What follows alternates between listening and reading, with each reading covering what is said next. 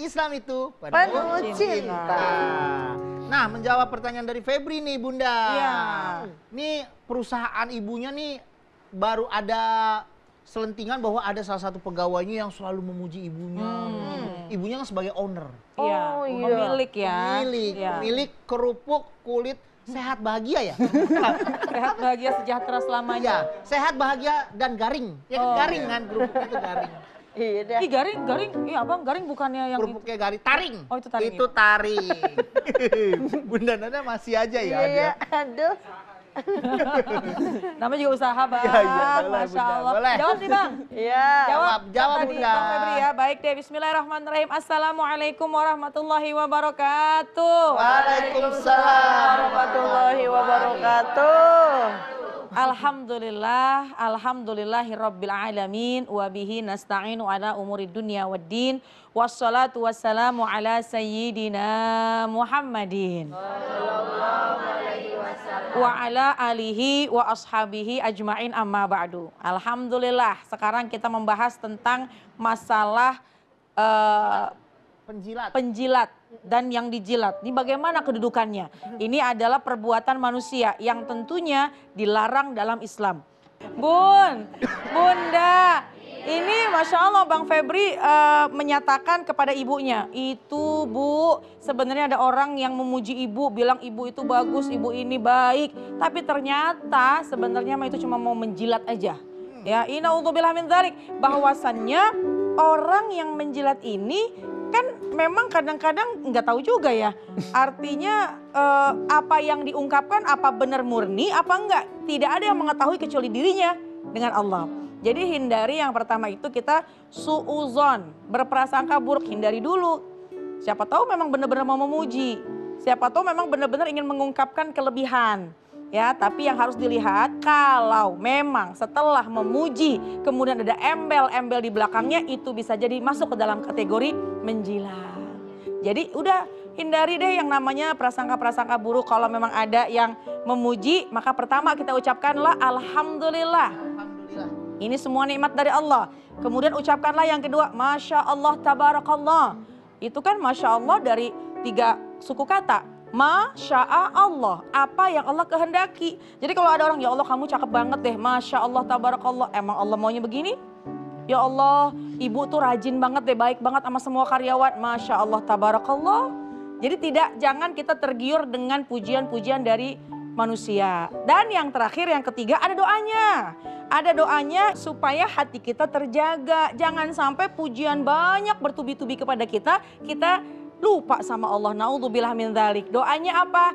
Bismillahirrahmanirrahim. Bismillahirrahmanirrahim. Allahumma Allahumma anta anta a'lamu minni a'lamu minni binafsi binafsi wa ana wa ana a'lamu a'lamu binafsi binafsi minhum. minhum. Allahumma ja'alni Allahumma ja'alni khairan khairan mimma yazunnun mimma yazunnun. waghfirli Waghfirli ma la ya'lamun wa la tu'akhidni bima yaqulun. Nah, itu dibaca. Pertama, ya Allah, Engkau Maha mengetahui daripada diriku sendiri. Ya Allah, aku Maha mengetahui. Aku mengetahui daripada mereka mengetahui diriku. Jadi kalau ada orang yang memuji kita, ya Allah, padahal kita banyak dosa. Orang bilang kita baik, ya Allah, padahal kadang-kadang kita juga punya hati kurang baik juga. Dan juga Allahumma ja'alni khairan. Ya Allah, jadikanlah diri ini lebih baik. Mimma yazunnun apa-apa yang mereka sangkakan. Jadi sangkaan orang lain kepada kita mudah-mudahan menjadi doa, menjadi kenyataan Bang. Dan juga yang terakhir, waghfirli ampuni aku mala ya'lamun apa-apa yang mereka nggak tahu. Dan juga jangan beratkan diri ini atas apa-apa yang mereka ucapkan. Jadi maksudnya apa? Pujian-pujian kita berharap jangan menjadi diri kita lupa daratan. Bang kalau lupa daratan bisa jatuh tuh bang. Dipuji, dipuji eh, ketinggian akhirnya pertama ujub juga, lupa daratan juga. Kita nggak merasa bahwa ucapan itu adalah membahayakan kita. Jadi bang, yang pertama hindari yang namanya suzon, prasangka buruk. Kalau memang dia melakukan yang kebaikan, mengucap yang baik, maka insya Allah akan menjadi doa. Amin. Tapi kalau sekiranya memang dia mengucapkan ada udang di balik batu, maka apa yang diucapkan pasti semuanya akan dilihat oleh Allah Subhanahu wa taala. Kamu kasih tahu tuh sama adik kamu. Dik, Oh, adik. udah gitu aja. Saya nggak tahu lagi ya. Bun, Ya. Bunda. Iya. Masih ada yang baper? Banyak pertanyaan? Silakan. Boleh. Siapa yang mau bertanya? Ah, Boleh. Boleh Bunda. Assalamualaikum warahmatullahi wabarakatuh. Waalaikumsalam warahmatullahi wabarakatuh. Nama saya Ibu Neneng dari Majlis Taklim Al Istiqomah Bogor. Ya. Dari Bogor, Ibu Nenek. Baper Bun, Ya. Boleh nih. eh, kan saya punya teman. Terus suaminya teh kan udah pejabat. Umrah mah kalau di Suaminya teh pejabat. Iya suaminya teman saya pejabat. Terus dia kan kan namanya pejabat eh, berarti istrinya kan ibu pejabat ya. Iya. Iya, Bu Iya Jabar kan jadinya. suaminya pejabat, ibunya Iya. jadi pejabat. Loh. Oh, oh, terus kenapa kan tuh? iya Bun. Terus udah gitu kan dia banyak yang datang. Namanya juga Ja- pejabat namanya ya. juga pejabat. Mm-mm. Banyak yang ke rumah ada yang ngasih buah, ada yang ngasih Tahu. buah, ada yang ngasih apa sih namanya? Hadiah. makanan dah eh, kue gitu ya. Terus ada yang ngasih motor juga supaya Wah. urusannya cepat diberesin gitu. Gimana itu hukumnya? Tapi di- si istrinya risih gitu. Oh, nih nggak mau. Nggak mau. Udah ya gitu aja. Assalamualaikum udah, warahmatullahi ya. wabarakatuh. Ya dah, nggak apa-apa. Udah ya gitu Ya aja. udah kalau gitu aja nggak apa-apa. Bunda kalau udah sampai rumah WhatsApp aja ya. ya ini iya pelicin, Oh, ya. pelicin. Iya, iya, iya, Pelicin. betul. Ini pelicin itu bagian dari sodok ya. Eh sodok. Sogok ya. Sogok. Iya, Kok karena sodok sih. iya bener sogok ya. Iya, kenapa tuh Bang jadi kepikiran sogok? Tahu.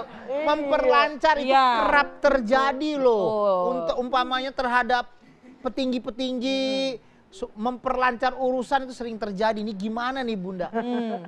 Bun. Ya. Bunda. Iya. Kau yang mulai, kau yang mengakhiri. Udah itu doang. Ini tadi yang mulai, dia ngakhirin. Udah ya gitu aja. Bunda. Ya. Ada pertanyaan nih. Seseorang udah jadi ibu pejabat, uh langsung rame rumahnya, didatengin ada yang ngasih motor, alhamdulillah. Ada yang ngasih buah, ada yang ngasih dan lain sebagainya. Eh ternyata itu sebagai pelicin. Setahu saya pelicin mah buat nyetrika. Biar kagak rikas. Ya. Dan dikatakan eh, oleh baginda Nabi Muhammad SAW, la'anallahu rasi wal murtasi. Allah melaknat orang yang menyogok dan yang disogok.